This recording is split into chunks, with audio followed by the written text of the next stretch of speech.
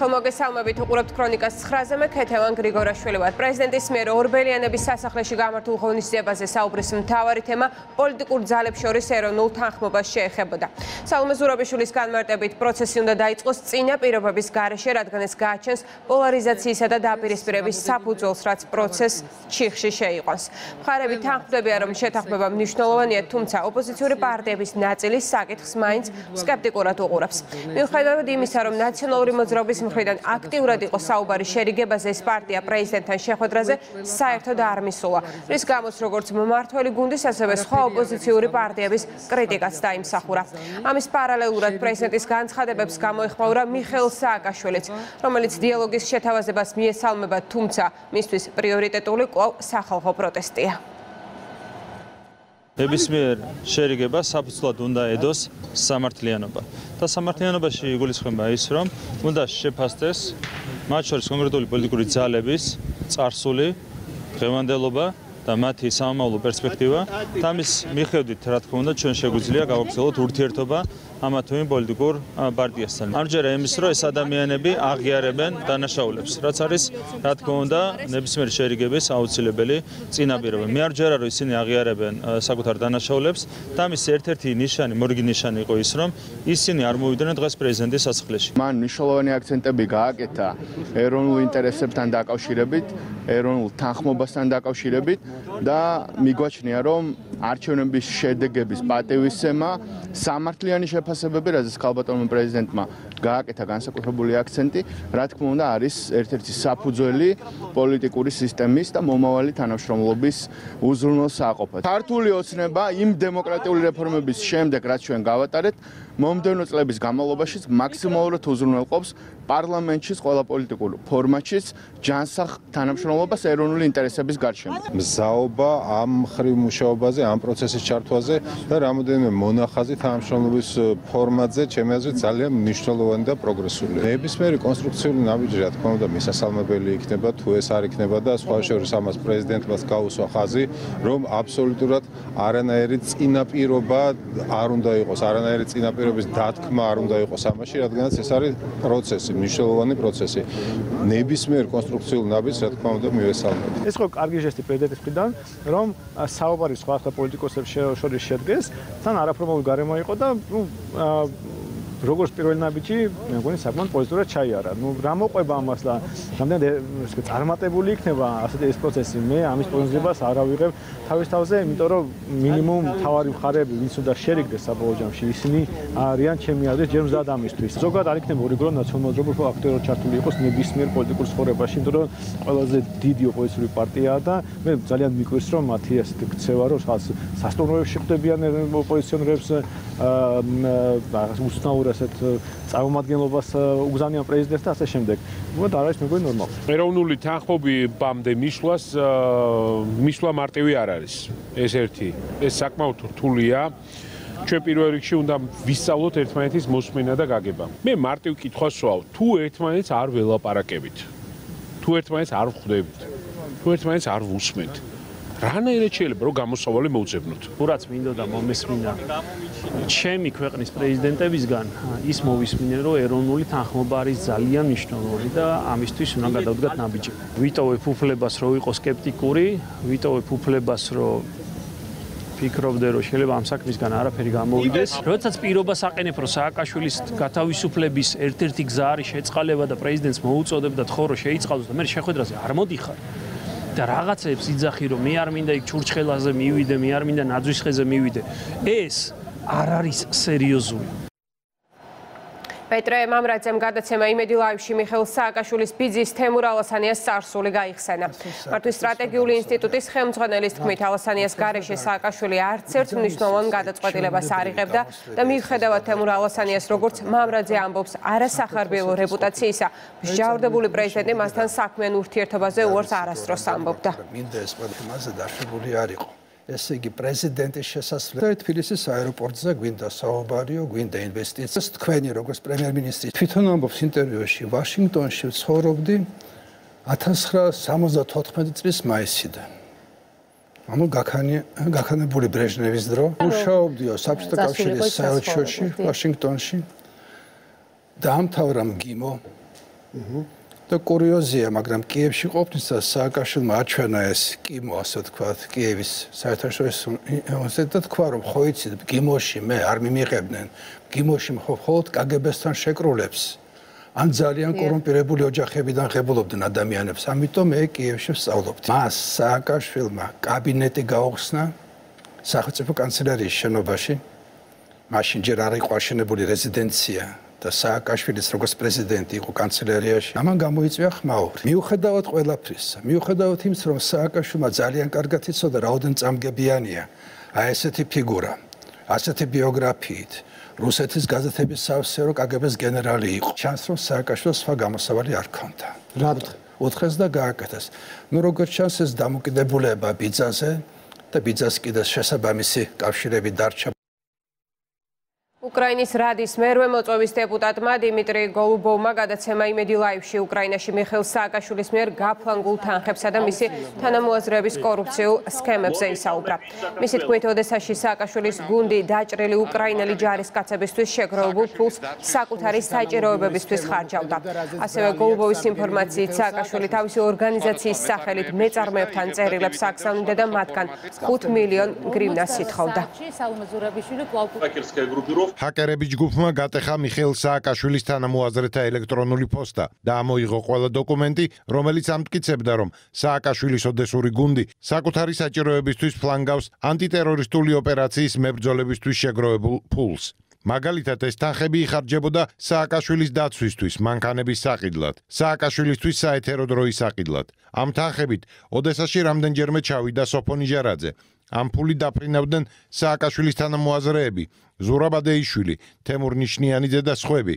რა თქმა უნდა, მე შოკირებული ვიყავი, რომ შეიძლება დაჭრილი ჯარისკაცების ფული დახარჯო შენი გასართობი ღონისძიებებისთვის. მიშკა იაპონჩიკმა შექმნა რეკეტი და მიშკა ქართველმა ეს რეკეტი აიყვანა სხვა სახელმწიფო რელსებზე. სადაც იგი ოფიციალურად აგზავნიდა წერილს, თავისი ბეჭდით არ ცხვენოდა და მსხვილ ოდესელ მეწარმეებს თანხას თხოვდა, როგორც რეკეტი 2. საქართველოს უსაფრთხოების სფეროში ამერიკის შეერთებული შტატების მტკიცე პარტნიორად რჩება. ამის შესახებ სახელმწიფო დეპარტამენტის მიერ გამოქვეყნებულ ყოველწლიურ ანგარიშია ნათქვამი, რომელიც ტერორიზმთან ბრძოლას ეხება. სახელმწიფო დეპარტამენტში აღნიშნავენ, რომ საქართველოს ზოგადად შეუძლია ტერორისტული ინციდენტების გამოვლენა, შეკავება და მათზე რეაგირება. საქართველოს აქტიურად არის ჩართული კონტრტერორისტულ საკითხებში, საერთაშორისო რეგიონულ და ორი მხრივ დონეზე. საქართველოს მჭიდროდ თანამშრომლობს ნატოსთან, გაეროსთან, ევროპის საბჭოსთან ეუთოსთან, შავი ზღვის ეკონომიკური თანამშრომლობის ორგანიზაციებთან, ინტერპოლთან და დემოკრატიისა და ეკონომიკური განვითარების ორგანიზაციებთან. მაისში საქართველოს და ევროკავშირი აღმასრულებელ მექანიზმზე შეთანხმდნენ, რომელიც შემდგომში ხელს შეუწყობს საიდუმლო ინფორმაციის ორმხრივი დაცვის პროცესს, აღნიშნულია ანგარიშში. აღმოსავლეთ პარტნიორობის მეექვსე სამიტი ასოცირებული ტრიოს აღიარებით დასრულდა. სამიტის შედეგით კმაყოფილია საქართველოს. მმართველი გუნდის შეფასებით ნაყოფიერი იყო პრემიერ-მინისტრის ვიზიტი. ირაკლი ღარიბაშვილი ევროპის პოლიტიკურ ცენტრში უმაღლესი თანამდებობის პირებს შეხვდა. მმართველ გუნდში აცხადებენ, რომ ასოცირებული ტრიოს ინიციატივის აღიარება და მხარდამჭერი გზავნილები მნიშვნელოვანია. სწორედ ამიტომ ქვეყანამ ევროინტეგრაციის გზაზე საჭირო რეფორმების გატარება უნდა განაგრძოს. ასოცირებული სამეულის ის ცდელობა ფორმალიზების რაც საქართველოს ქონდა ამდენი ხნის განმავლობაში რეალურად აღიარებულია ევროკავშირის მხრიდანაც.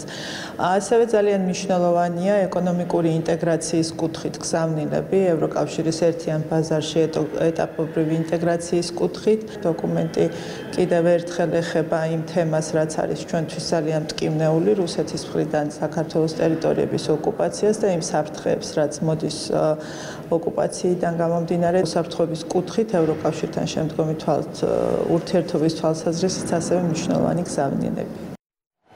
ევროპის რეკონსტრუქციისა და განვითარების ბანკმა 2022-27 წლებისთვის საქართველოს ახალი სტრატეგია დაამტკიცა.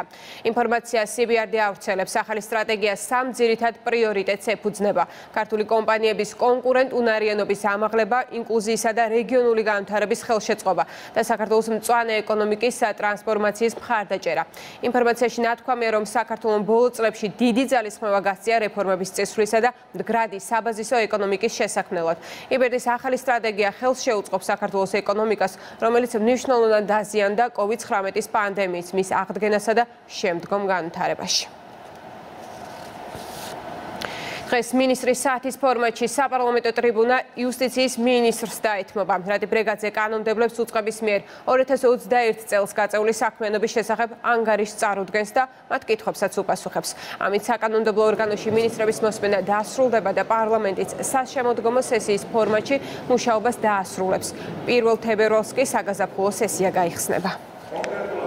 არის არაერთი მიმართულება, რომელიც არის ამ სამინისტროს კომპეტენციის შემავალი, დაწყებული სერვისებიდან, ის სერვისები, რომელიც ჩვენ მოქალაქეებს მიეწოდებათ, გაგრძელებული პენიტენციური სამსახურიდან და ასევე ერთ-ერთი მნიშვნელოვანი მიმართულება სტრასბურგში, იცით რომ მოპასუხე არის ყოველთვის იუსტიციის სამინისტრო როგორია სტრასბურგის სასამართლოში მიმართვიანობა, როგორია სტატისტიკა, რა სიახლეები გველოდება ჩვენ სერვისებთან მიმართებაში თუ პენიტენციურ სამსახურთან მიმართებაში, ეს საკითხები იქნება განხილვის საგანი.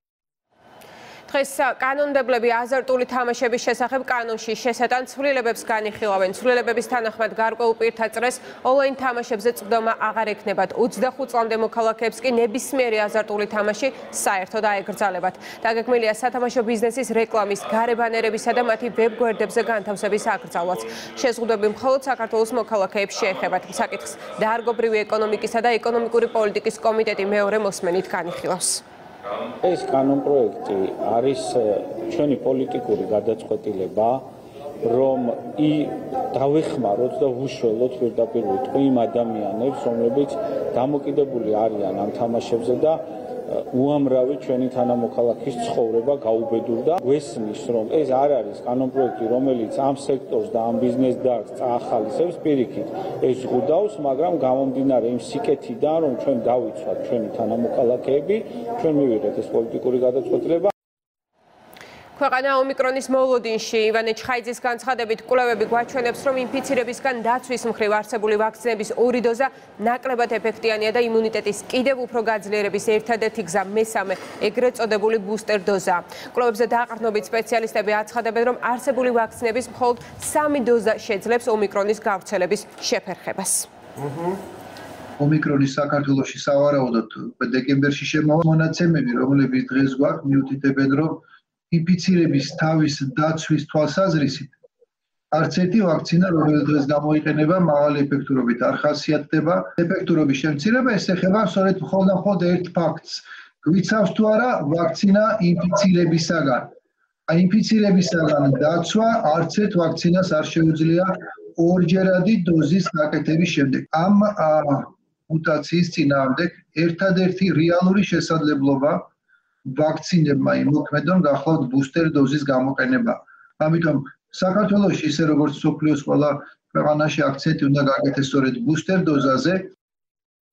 ქვეყანაში ეპიდვითარება კვლავ საყურადღებოა ინფიცირების ყოველდღიურ მაჩვენებელთან ერთად დიდია ლეტალობის რიცხვიც. სპეციალისტების ვარაუდით ომიკრონი საქართველოშიც მალე შემოახცევს და ეპიდვითარება კიდევ უფრო დამძიმდება. გამოსავალი კვლავ არსებული რეკომენდაციების ზედმიწევნით დაცვა და ვაქცინაციის პროცესის გააქტიურება. ეპიდემიოლოგიური მდგომარეობა ცხადია, ისევ არ ამყარია. რა თქმა უნდა, დაიფიცირებულთა რიცხვის ისევ მატება შენიშნება, სამწუხაროა, რომ ისევ არის დეტალობის მაჩვენებელი საკმაოდ მაღალი. ჯერჯერობით ცხადია, ქვეყანაში არ არის ომიკრონი, მაგრამ ისი შემოსვლის შემთხვევაში შესაძლებელია ერთდროულად იყოს როგორც დელტა შტამი, ასევე ომიკრონი. თავარი და ერთ-ერთი ისევ გამოსავალი ფაქტორი არის რა? რეკომენდაციების დაცვა და ვაქცინაციის პროცესის აქტივაცია. ეპიდემიოლოგიური მდგომარეობა ქვეყანაში მკვეთრად გაუარესებულია, განსაკუთრებით ბოლო კვირეების განმავლობაში. საქართველოს მდგომარეობაზე, რა თქმა უნდა, მოქმედებს ის ეპიდემიოლოგიური ვითარება, რაც არის მსოფლიოში, რასაც ამძიმებს ახალი შტამის არსებობა, ომიკრონი. ძირითადად მუტირებული შტამები ძალიან მალე ვრცელდება ისეთ ადამიანებში და განსაკუთრებით ისეთ პოპულაციაში, სადაც ძალიან ბევრია აუცრელ ადამიანთა რიცხვი. საქართველოს კი სამწუხაროდ ვაქცინაციის დაბალი მაჩვენებლით ერთ-ერთი მოწინავია. ეპიდვითარება რთულია პედიატრიული ასაკის პაციენტებშიც ბოლო მონაცემებით ციციშვილის ბავშვთა კლინიკაში 113 კოვიდ ინფიცირებული პაციენტი მკურნალობს. მათგან 15 რეანიმაციულ განყოფილებაშია. კრიტიკულად მძიმეა ორი ჩვილის მდგომარეობა რომლებიც თითქმის ორი კვირა მართვით სულთქვაზე იმყოფებიან. კლინიკაში მყოფი 12 წელს გადაცილებული არც ერთი ბავშვი აცრილი არ არის ამჟამად ციციშვილის სახელობის ბავშვთა კლინიკაში COVID ინფიცირებული 113 პაციენტი წევს. რეანიმაციაში 15 პაციენტია და ამ 15 პაციენტიდან ორი შვილის მდგომარეობა არის უკიდურესად ძიმე, ისინი მართვით სუნთქვაზე იმყოფებიან. თითქმის ორი კვირა. არც ერთი პაციენტი, რომელიც კლინიკაში არის 12 წლის ასაკიცემოთ, არ არის ვაქცინირებული. მშობლებს რაც შეეხება, მხოლოდ ორი მშობელი ამ ეტაპზე ვაქცინირებული. ეგრეთ წოდებულ გუდაურის გახმაურებულ საქმეზე 12 ნაფიცი მსაჯული ვერდიქტის გამო სატანად კიდევ დამატებით 8 საათი იმშელებს. განზრახ მკვლელობამ მკვლელობის მცდელობა თუ აუცილებელი მოგერიება. რა გადაწყვეტილებას მიიღებენ ნაფიცი მსაჯულები, ეს სწორედ 8 საათში გახდება ცნობილი. ცნობისთვის კი შემთხვევა 2020 წლის 16 თებერვალს მოხდა გუდაურში ახალგაზრდა მამაკაცი მოკლეს მეორე კი დაჭრეს. სამართალდამცველებმა მერაბ კობიაშვილი დააკავეს.